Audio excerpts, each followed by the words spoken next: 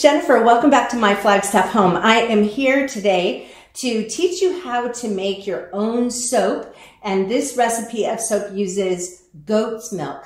So anyway, this is a lot of fun and I'm excited to share this with you. So I learned how to do this several years ago, but I had wanted to make my own soap for a long time, but I was really nervous about using lye and working with lye because lye is a caustic substance that can burn your skin. So in this recipe, we're not talking about melt and pour soap. We're not talking about going over to um, Hobby Lobby and buying some soap that's already been made and then melting it down and adding colors and fragrances and then pouring it into a mold and letting that harden up.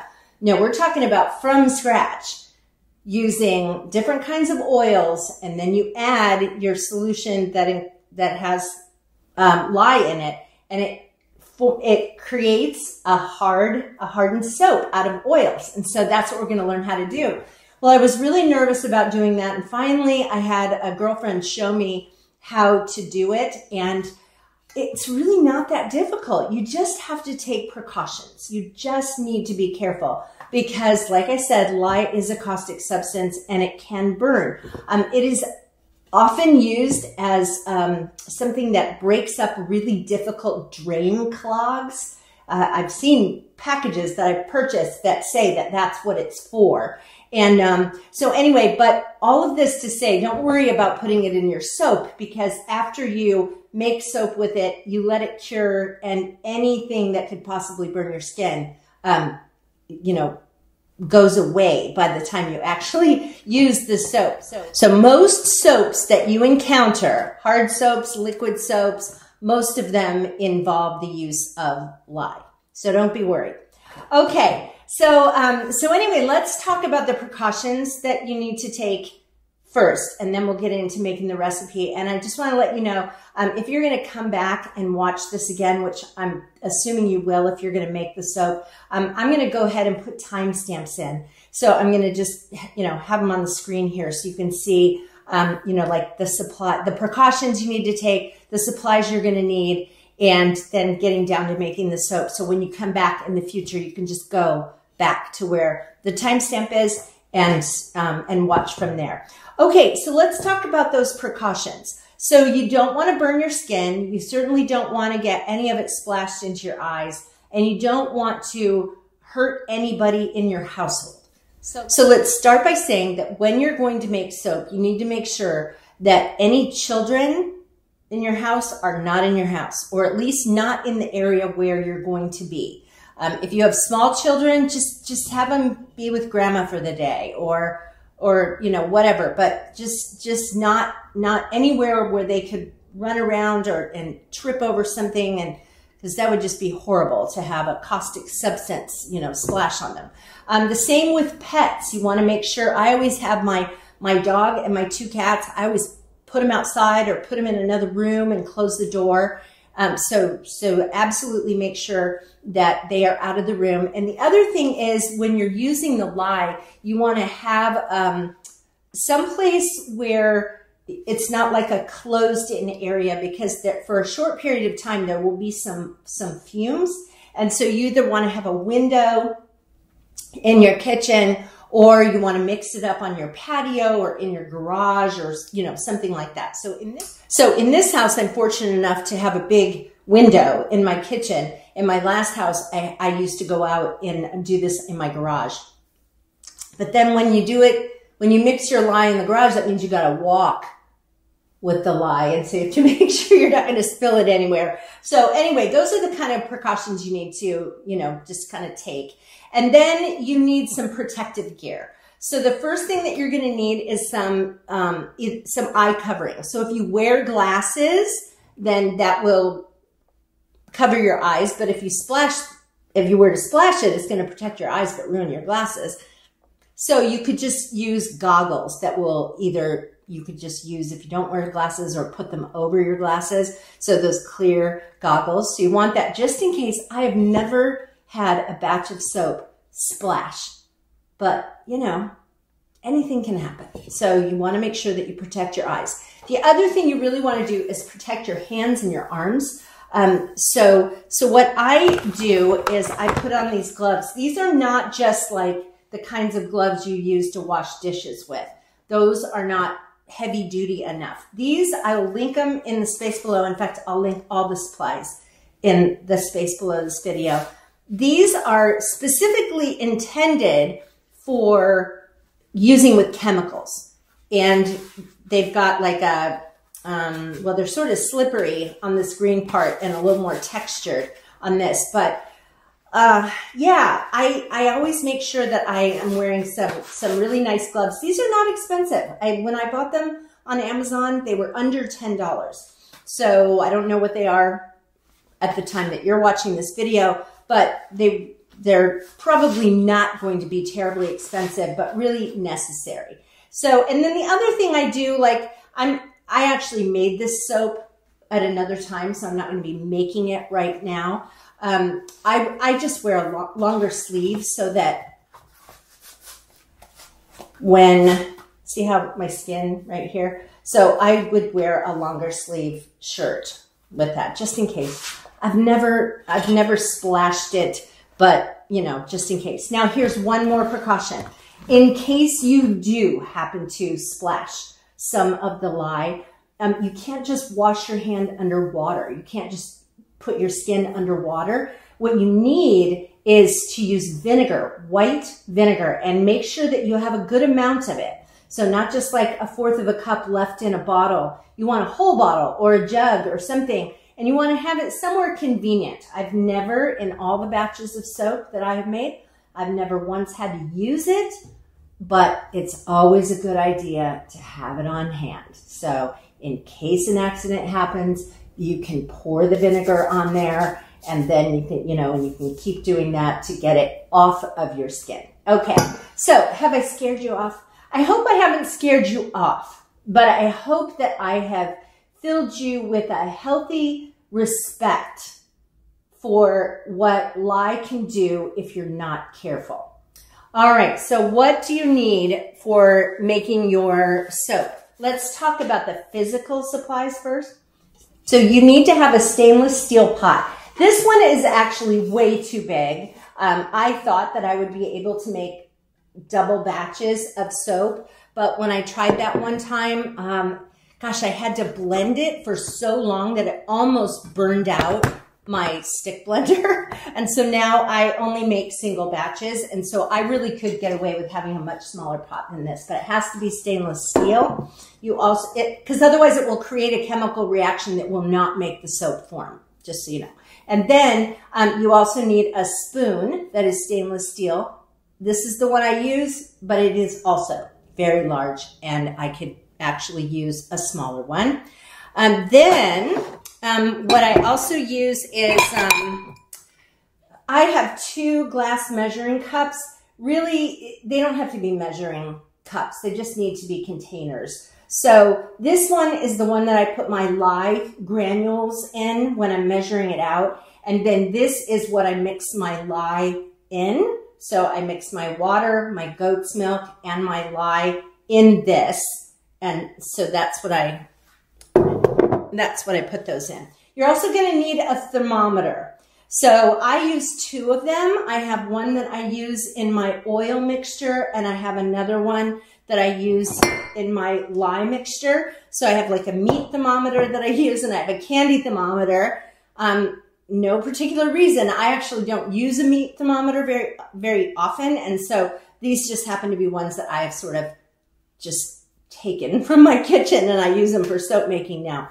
So, um, so yeah, you could just use one thermometer, except that you're going to have to wash it when you go from testing the temperature of your oils to testing the temperature of your, of your life. So it helps to have two. Um, you do need a stick blender. Another thing you're going to need is a scale so that you can do some fairly exact measurements. I have found that it's okay with this recipe to do a little bit of rounding up, rounding down. Like for example, if it says that you need um, 12.35 ounces of oil, it's okay to do 12.4. And then you're also going to need um, some colors if you want to add color. Now, goat's milk is going to make your soap, if you put no color in it, it's going to make your soap um, kind of a yellowy color, kind of a creamy, not a bright yellow, just sort of a subtle, creamy, yellowy color. And so any coloring that you mix with it is going to mix with that yellow color. So, so you're not ever going to be able to get blue. So let's say um, you mix, uh, you put blue in there. Well, blue and yellow makes what? It makes green. And so that's what you're going to end up getting. So I will do another video where we just talk about a shea butter soap recipe that doesn't use goat's milk. And in that, for that, you can make purple and blue and pink and all different colors of soap. But I stay with sort of earth tone colors. You can see here with these soaps that I've got stripes. But um, this is the natural color. The bottom is the natural color. The next step up is kind of a greenish color where I had added blue. The next one I had added kind of a an orangey color and it made it sort of terracotta. And then this top one um, is I added a little bit of pearly white color to it and it just made it a little bit darker yellow than the than the bottom. So what I use is a, it's a mica powder and you can get a box like this one, I'll link it for you, that has a whole bunch of different colors in it. So if you're just getting started and you're trying to figure out what colors are your favorite, you can get this assortment. This one had 15 different colors. But then if you kind of, you know, gravitate back to the same colors all the time, which I do, then you can buy larger containers of just one color at a time. And so, yeah, so I have, I have several of these kind of things. So like the purple and the blue, these are things I'm going to use with my shea butter. And then I have some others, you know, of course, that I'm going to do use with my goat's milk. Um, okay, also, other supplies you're going to need. You're going to need soap molds. You could use the kind of molds that are shaped like something like a rose or maybe it's a bar of soap and it has some kind of design in it. You could do that. I make these bricks. so I have two that are fairly large. They've got silicone inside them. And then the box part of it just kind of holds it steady because if you were to pour the mixture in, it's gonna get all floppy. And so, so you need something that holds it. So I have two of these and these particular molds that I have have lids. They don't snap on or hook on. They just sort of set on top. It is, but when we get to the end, I'll talk about why it's helpful to have lids. But I do have one mold that does not have lids or a lid. And this one is a smaller mold. And um, it, like, look at this. See how it's not quite as wide? And it's also not quite as long. So, but what's cool about this one is it has an insert.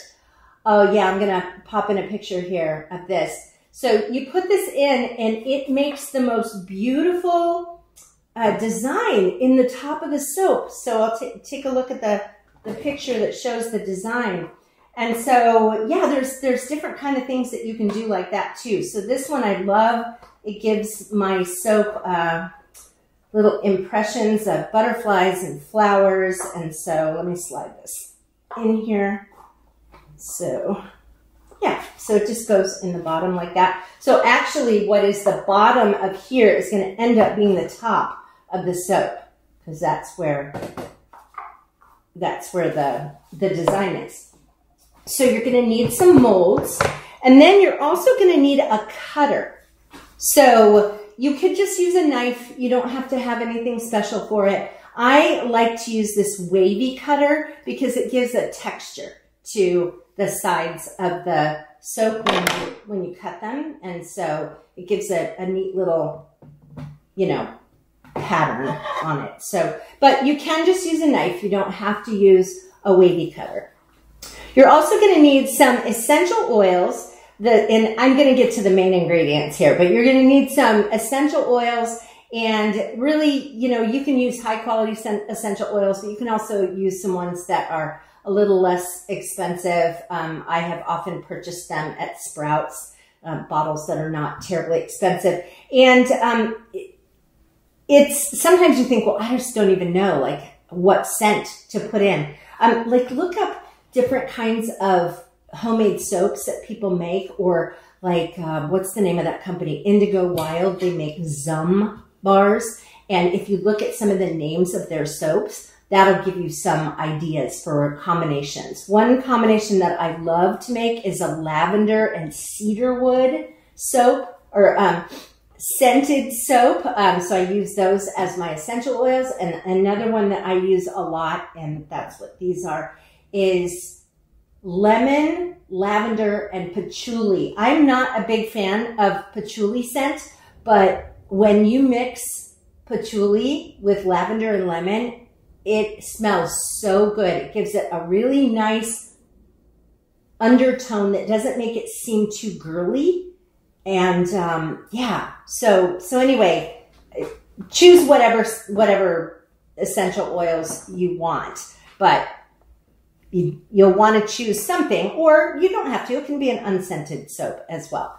So the other thing that is an optional item, and then we'll get to the actual oils you're going to need and the lye and all of that. Um, what you're going to need is um, an optional item is vitamin E oil. And it's a very small amount. It's optional. I've seen it listed as an antifungal. I don't know if soap somehow gets fungus. I've never seen it happen in all the years that I've been making it, but I like to put it in because vitamin E oil is nice for the skin. So I just add it. It's a small amount that I add in. Um, and then uh, you're also going to need some honey, a small amount of honey. So now let's talk about the oils. Yes. And you're going to need olive oil, coconut oil, avocado oil, and then of course you're going to need lye. And to find lye, you can either buy it online or you can go into a hardware store, believe it or not. I went into Ace Hardware and I had no idea where, where to even look to find it. Um, and they directed me over to the plumbing section. That's where I found it. So, so you're going to need a container of lye. You could also look in a craft store if they have a soap section, they might sell lye there. So, like I said, be really careful with it. When you open it up, don't go sticking your nose in it. It's fumy kind of thing. Yeah, don't do that. So, okay. And then um, the last thing you're going to need is goat's milk. So let me tell you about goat's milk. I used to have access to fresh goat's milk. I had a friend who raised goats and I now no longer live near her. And so I don't have access to fresh goat's milk anymore. Fresh goat's milk is always going to be your best option, but you don't need it. You do not need it. So you can just go to Sprouts or Whole Foods and buy a half gallon of goat's milk, it's going, it's expensive. You're going to be like, oh my gosh, I can't believe it. But it, a batch of soap does not require a lot of it. So I think the last time I divvied out my, my portions of goat's milk, I determined that a half gallon was going to make 18 batches of goat's milk soap. So yeah, so, so a little, a little goes a long way. A lot goes a long way. All right, so I'm going to show you though what you have to do in preparation before you make your goat's milk soap, and that is that you have to freeze the goat's milk. So the reason you have to freeze it is that when the goat's milk and the lye get together, it may they get hot, and the lye will actually curdle the goat's milk. If you were to just use refrigerated goat's milk and then add lye to it, it's that milk is going to curdle.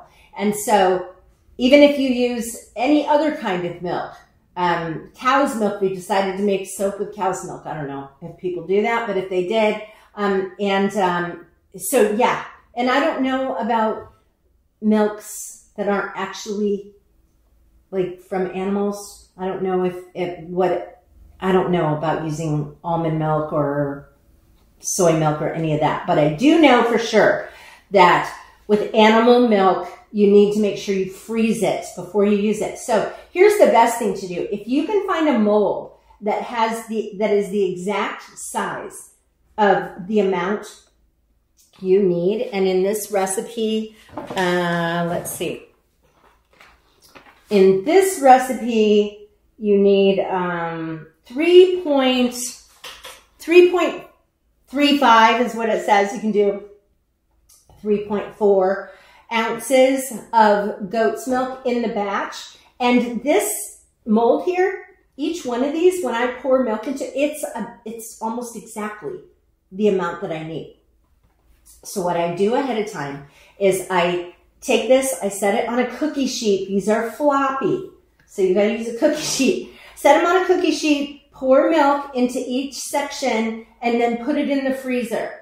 And then after it has frozen, solid, you pop them out, put them in a freezer bag, and then fill it again on the cookie sheet, put them in the freezer, and then the same thing until you're finished. And then you'll have all of your goat's milk in like a zip top bag that is frozen. And each time you make a batch of soap, you just need one block of this to put in with your soap. Okay, so those are your supplies. Now we're gonna get on to making the recipe. The last time I made it, I snapped pictures along the way and I also filmed some video along the way, kind of working with one hand and filming with my phone. And so I'm going to walk you through part of it. I'm going to narrate from here and part of it I'm going to be popping in these different clips. So we're going to start by mixing our oils together. So you're going to take this and you're going to set it on the stove and you're going to put your oil, your olive oil, your avocado oil, and your coconut oil. And really you're going to heat it up just enough so that the coconut oil starts to melt. And then when it starts to melt, just turn it off. Now, if you have a gas stove, um, well, at least at my last house with a gas stove, I could just turn it off and leave this on the burner and it would be fine. On this, at this house, I have a glass top. And so if I just turn it off and leave this on there, it keeps getting hotter and hotter. And so, uh, so I recommend with this kind of a stove to turn off the burner and move it off. So the idea is that you want your soap, your oil mixture, and then later your goat's milk mixture to be between 90 and 110 degrees. It doesn't matter if they're both the same. One of them could be 95 degrees and the other could be 102. It doesn't matter. They just both have to be in that range. So you don't want to get your oils too hot so that you spend all your time trying to cool it down. And then all of a sudden your goat's milk mixture with the lye is, you know, is cooling down that when you mix your lye and your goat's milk and your water together, the temperature, at least every time I've ever done it, is somewhere around 140 degrees. And so I'm waiting for it to come down. So I don't want to get this up around 180 and then I'm kind of panicking about, you know, what, what to do. I don't actually know. Let me just tell you that if I were making my soap and my, if your oil mixture were to get too cool, you could always turn the burner on again and you could warm it up. But if your lye mixture goes below 90, I don't even know what you do. I, I think I would just get rid of it. I don't even know. It just doesn't seem safe to like microwave it or, or whatever. So just try not to make that happen. Try to make sure that you've got everything timed out properly. So you're going to start by warming up those, um, those oils. And then make sure that while you're doing this, get your other ingredients ready. You want to make sure that your your mica powders, your colors are, you've picked them out and they're just sitting there ready to use. You want to measure out your one and a half teaspoons of essential oil. So like when I'm doing uh, lemon, lavender, and patchouli, I'm going to do a half a teaspoon of each one. Half teaspoon of lemon, half teaspoon of lavender, half a teaspoon of patchouli. So I'm going to go ahead and measure that out and put it in a little dish. I'm going to measure out my one tablespoon of honey and put that in a dish. I want to have all of it ready. And the other thing I'm going to do is clear off my sink area. I want to make sure that I don't have, like right now, I've got some stuff drying in my sink. No, we want that cleared out. We want anything close by. If you have a dish of fruit or anything, all of this you need to get away so that if there was a splash of some kind, you know, that you don't have it um, splashing on other stuff. So get everything cleared off of your counter over there. Um, so you can take care of all this stuff while you're heating your oils. And as soon, like I said, as soon as the coconut oil starts to melt, when you see it start to melt, turn off the burner. If you've got a glass top, move it off that heat. And then test the temperature. And if it needs to go back on, you can you can do that. But um, but just don't let it get too hot. so the next step is that you're going to measure out your lye and mix with the water and goat's milk. So, so we're going to start mixing our goat's milk, water, and lye. And so this is where I take my glass um, measuring cup and I go ahead and turn it on so that it's sitting on here and then it, when it turns on, it goes to zero. And then I'm going to measure out my water in there and I'm going to put in my block of frozen goat's milk. So I've got my water and my frozen goat's milk, not putting in the lye. So at this point, I want to put on my gloves and then I'm going to make sure that I, I, go outside or I go in my garage or I'm by my window, whatever, uh, because there will be some fumes. Not horrible, but some, some, it is a little fumy. Make sure your pets are out of the way. Make sure your children are not anywhere close by. And so I'm just slowly adding in um, more of the lye. Just slowly adding some in and then stirring it very gently. Don't want to cause any splashing.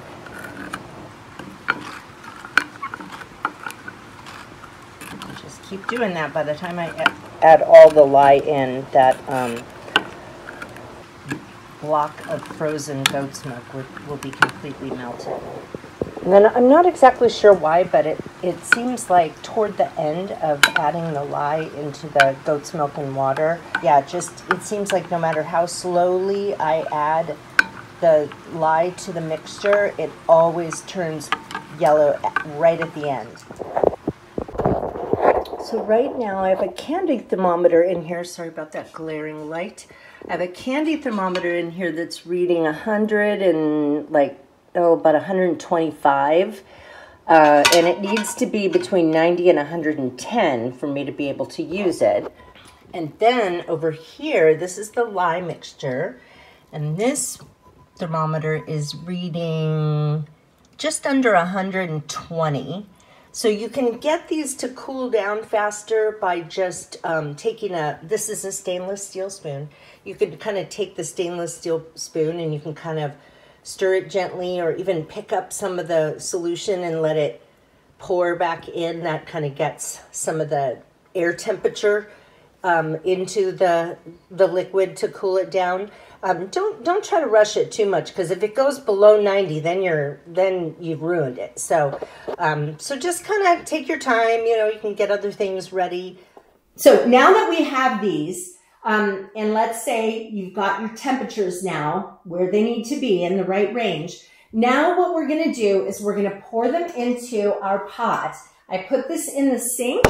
I put my gloves on at this point and I get my stick blender out.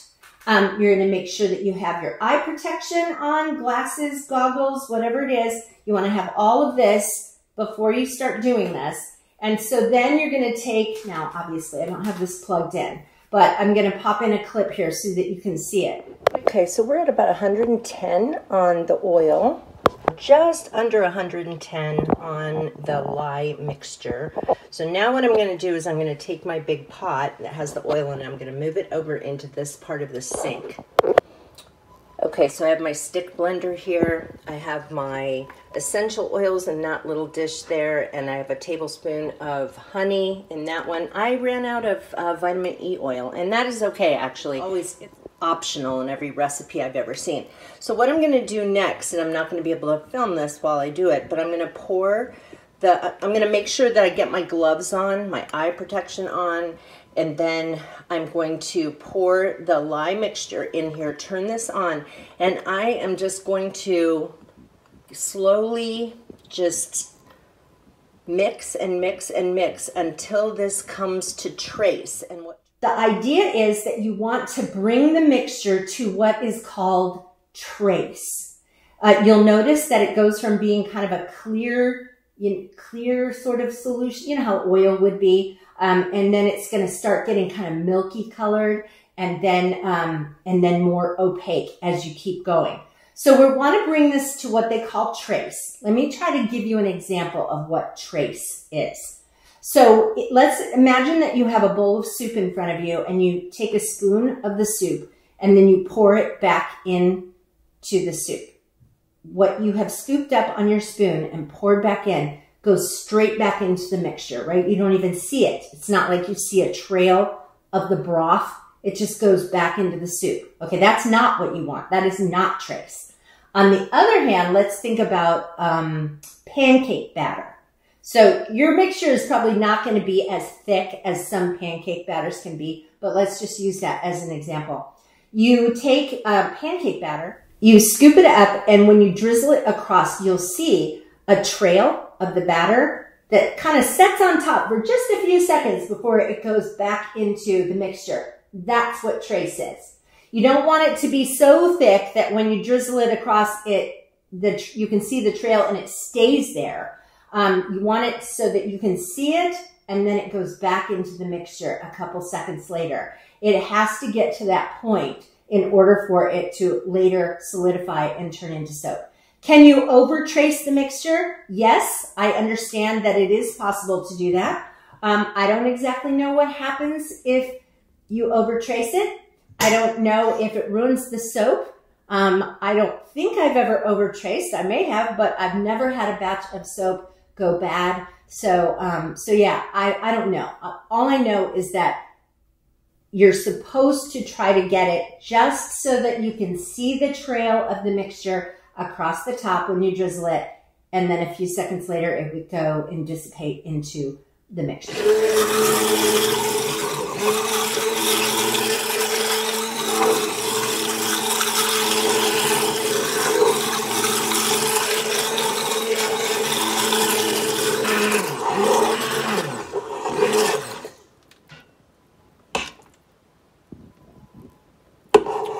See a little line, except for the light that's overhead that's kind of blocking that. You can see a little line, and then it kind of goes back in, sinks back down, but that's now at trace. That's what you want to try to do.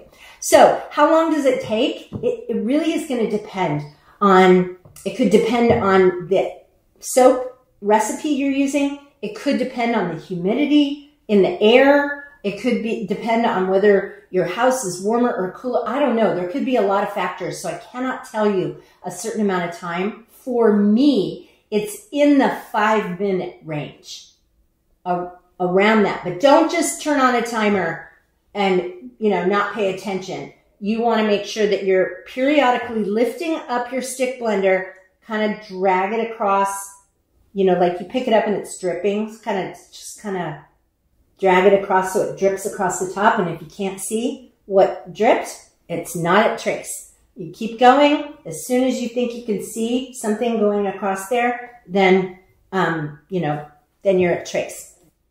So at that point, you're going to add your essential oils, your honey, and your vitamin E oil. And then you're going to take your stick blender again and just mix it just enough so that it's, it's blended in. And now you're ready to put in your color. Now, well, there, you can do it at a different time. But if you're going to make all of it all one color, then you can go ahead and take whatever color or colors you want to mix in there. Take your blender again and just kind of blend it in so that it's all mixed. Some people will take their color and shake it in and then take like a straw or some kind of like a popsicle stick and kind of you know, run it through so that it makes it swirly. I mean, you can kind of play with, with what you're going to do with the colors, but that would be, that would be a time to do it. You can also do colors once they're put, the mixture is put in the molds. So, but for this, what I'm showing you today, when I made these, um, I, I just mixed the color all at once. Now, this is different colors, right? So I made four batches of soap to get this. And uh, if you're going to make three things full like this, it's going to take four batches. Um, if you just do one batch of the recipe I have, you're going to end up with just a very small, you know, a much smaller amount.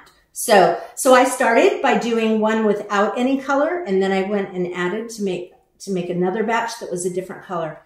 What you end up doing is that you just pour the batch in and use your um, stainless steel spoon to kind of scoop it out and scrape off the sides and, and fill it in. And then at that point, you want to smack it on the counter. And so part of that is to get that to be um, sort of smoothed out and even on top. It doesn't have to be perfectly smooth. And then the other thing is to get air bu bubbles out. So you're just gonna just kind of like this. So, you know, we're not, you know, smacking it really hard, but we're just kind of banging it a little bit to get any of the bubbles out. So then at this point, you've got one batch done. And now you're going to clean everything up so that you can start with a second batch. If you're going to if you're using small molds, you can just do the one. But if you're making like what I'm doing here and end up making four batches, you have to clean everything up again. So you are going to need to wash out your pot because you've got to put oils in here again and you don't want them touching lye to begin with. So you actually need to use some soap and water and wash out your pot. You need to wash off your spoon. So get everything washed and then you just start again from the beginning. And after you finish that batch and you add whatever color you want, then you pour in your second batch on here and just pour it slowly. During the time that you have been cleaning up and then getting started with your next batch, what was in here will start to solidify. It's not going to get completely hard. So if you pour in the second batch, like just dump it in, it's actually going to mix the colors together. Um, so you just want to go very gently, very slowly if you want it to hold that striped look. And so then you put that on there, same thing. You know, I kind of sometimes do this business with it to get it to go all the way across evenly. And then you want to do some smacking to get the bubbles to come out. And you keep doing that until they're full. All right, so now that I have these three full, and this did take four batches. I was thinking it was five, but it, it took four to fill it. These two large ones come came with lids, and so I'm gonna just, they don't like secure on, they're loose, but you cover them up because the idea is that you want your soap to stay warm for the first 24 hours for sure and you want to keep them as warm as possible so that they end up getting being a nice even color in the middle. Sometimes the center can get dark if it doesn't have the right um, temperature or consistent temperature during the first 48 hours. So, so anyway, I am going to take these and cover them, wrap them up in a towel. I just realized if I do this, this towel is going to land right on this one that doesn't have a lid. So I'm going to do it a different way. But I'm going to wrap it up in a towel and then I'm going to stick it in a nice warm closet and leave it there for two days. Like in a climate like Arizona, 48 hours is going to be enough time. If you live someplace like Florida, then you're going to need 72 hours. When you get to that point, you're going to then pop your soap out of the mold and you'll end up with this, with a brick of soap and you just start peeling it off. If it hasn't set well enough, then you're going to see the edges and the corners when you start to pull this, peel this off. You're going to see them kind of mush and you don't want that to happen. So here are the three bricks of soap and they look like they're still, I mean, they're, they are still damp in the center especially, but now I usually have, I've never made soap since we've moved here to Florida and I'm from Arizona. So two days, 48 hours was always enough time in Arizona that I could pop it out of the mold and then cut it into slices and then let those cure. So I'm just going to take it kind of carefully with the first one. And if it seems like it's too soft, then I'll wait another day. I just want to show you, so I took it out of the wood and then I loosen up, and I've got, of course, I'm holding the camera in one hand. So I loosen it up on the edges, and then you kind of really do have to sort of gently peel it off, and I'm not going to do this right now because I need two hands to do it. but you do kind of peel it off and it's, if it starts to mush too much on the corners, then I'll know it's not really ready yet. But I mean, if they if it does like mush in a little, it's okay. So let's try it and see. Okay, it peeled off okay. It's a little softer than what I would say when I have done this in a drier climate. So, um, but it does look pretty good. It's holding together nicely. It didn't really misshape or anything like that while I was removing it. And so I'm going to go ahead and cut it up. I want to show you this one. This is the one that was in the green mold and it has that flower print in it. And so you kind of have to peel that off. And so when that peels off, it leaves a really cool design. Isn't that pretty? Okay, these cut all perfectly. So um, I ended up with a total of 27 bars of soap from those three molds. And one, two, three, four, five, six of them came from that that flower mold and that and then you're going to stand your soap up so that it can kind of have airflow around it and make sure you've got some space between each individual bar. I would not recommend laying them on that longer flat side. I would say the ends are better to stand them on. And then the next day, go and flip them over the other way so that part that was on the bottom gets some airflow. So for the first few days, I, I flip them a lot. And then about, then I just leave them for a couple I don't cover them they're just on a plate. I usually keep them. Honestly, I have a file cabinet in a closet and I set, set the plates on top of that. And that's where I put them because they're not going to get disturbed. And so then maybe in a couple of weeks, I'll flip them again. And then I just leave them and they need to cure for anywhere from four to six weeks. If you live in a dry climate, I would say four would be okay. If you live in a humid climate, for sure let your minimum amount of time curing be six weeks. Um, it is always better to cure for longer. First of all, you cure because you want to make sure that the lye is no longer active. And so, so you want to make sure that you've let it sit long enough that the lye is not going to irritate your skin when you use it. And the other reason why you want to let it cure for a while is you want to have some of the moisture dissipate from it because let's just imagine if you had a lotion bar and you stuck it under a faucet, um, it's the water is just going to make it disintegrate, right? So the harder the bar of soap is, the longer it's going to last.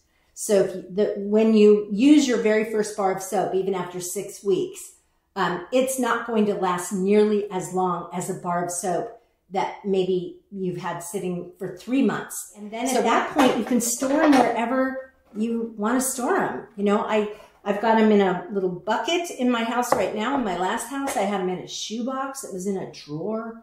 So, um, you know, it's really up to you how you want to store them. Um, you can make little cute labels on them and give them away as gifts. Uh, it's totally up to you. But anyway, um, hopefully this was helpful, you guys, and I hope you give it a try. Just remember to take the necessary precautions and respect what lye can do um, and if you are taking those precautions and you have a healthy respect for the caustic nature of that chemical, um, then, you know, it's really not as scary as you might think. So anyway, I hope you guys give this a try. Let me know. Let me know if you have any questions. See you guys later. Take care.